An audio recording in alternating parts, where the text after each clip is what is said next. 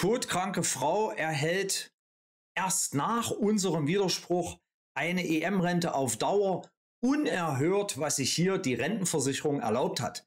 Mein Name ist Peter Knöppel, ich bin Rechtsanwalt und Rentenberater von Rentenbescheid24.de.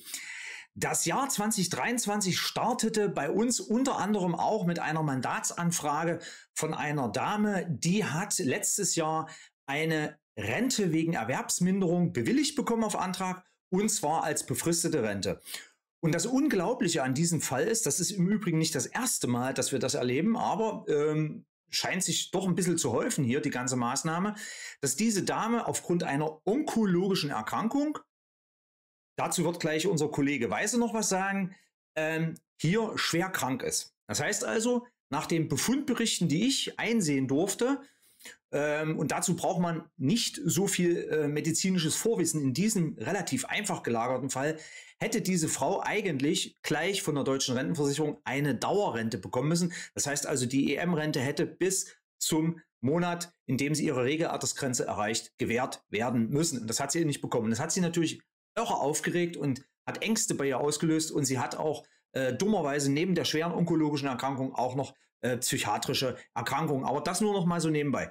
Und dann haben wir also sozusagen Widerspruch eingelegt, gleich Anfang des Jahres und still ruhte der See. Also hier ist nichts passiert, ja. Das muss man sich mal auf der Zunge zergehen lassen. Und dann erhalten wir, nachdem nichts passiert ist, nachdem wir mal nachgefragt haben, Anfang September 2023 den erlösenden Rentenbescheid. Ich habe den dann dahin geschickt zu unserer Mandantin und die hat sich riesig gefreut und hat gesagt, Mensch, das ist ja klasse.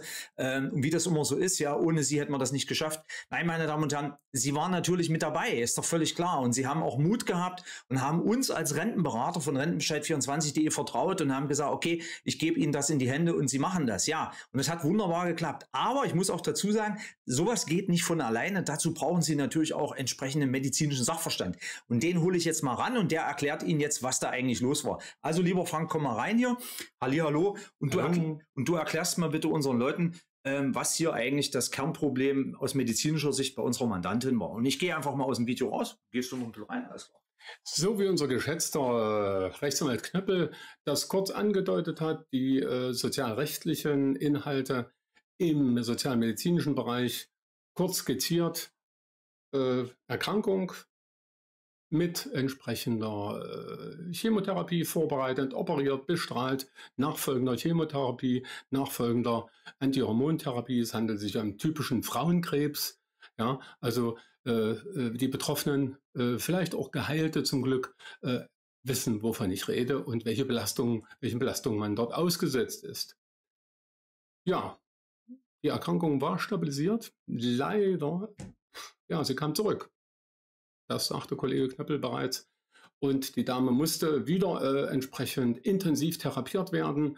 Äh, aktuell natürlich besonders äh, die führende Lebensangst, Zukunftsangst, was denn aus ihr werden würde, wirtschaftliche Angst und äh, hat sich ja da äh, hilfesuchend an uns gewandt, damit wir äh, möglicherweise die deutsche Rentenversicherung überzeugen können, dass es sich hier um einen ganz klaren medizinischen Fall nach Rezidiv handelt. Und ähm, da wissen alle Beteiligten und besonders in dem Fall ich, äh, dass die Prognose recht schwierig zu betrachten ist. Ja, wir haben es durchgesetzt. Äh, der Kollege Knöppel sagte dies.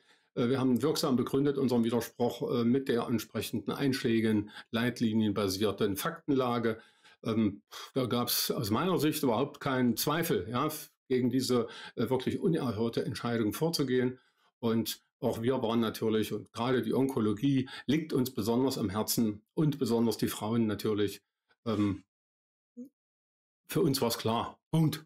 Ja, wir haben gewonnen, ganz toll und hoffen, dass die Dame da erstmal entlastet ist und dass vor allen Dingen die Zukunftsangst, Krankheitsangst ein bisschen äh, stabilisiert ist und sie noch äh, entsprechende Lebensqualität hat, ein gutes Leben hat. Soweit möglich. Vielen Dank, dass Sie uns folgen.